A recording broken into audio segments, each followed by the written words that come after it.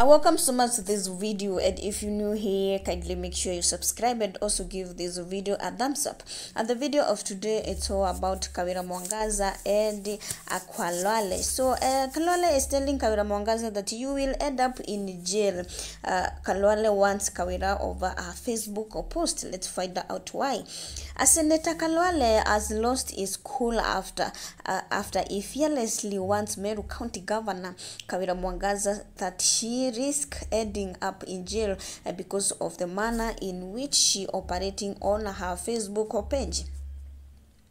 Akalwale has drawn to the attention of Kawira when she narrated the, uh, that the post she was being asked about was not written by her despite uh, the Facebook page belonged to her. She also revealed uh, that she didn't author uh, the post that have landed in trouble with Meru MCAs. It's not mine, but I, I did not check what was written. It is my Facebook page.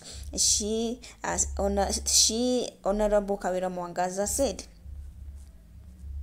In a retaliation, Kwale wants Kawira that she may land herself behind bars for not being keen about the things she posts. He went on to advise her to be careful by showing the disclaimer that will help differentiate what she posts versus what uh, uh, administrators post on her page. Madam Governor, if you must really on a face, if you must rely on Facebook or Twitter, Instagram, so on, you must play by the rules.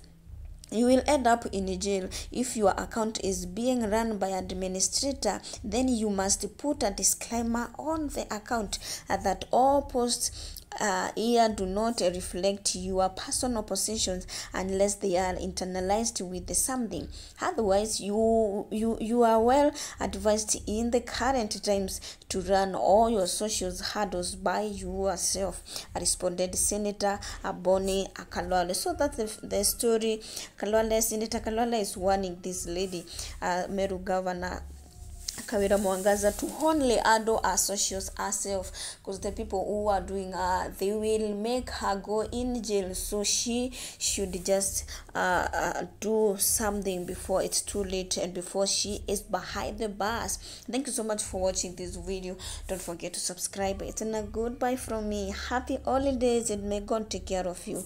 Bye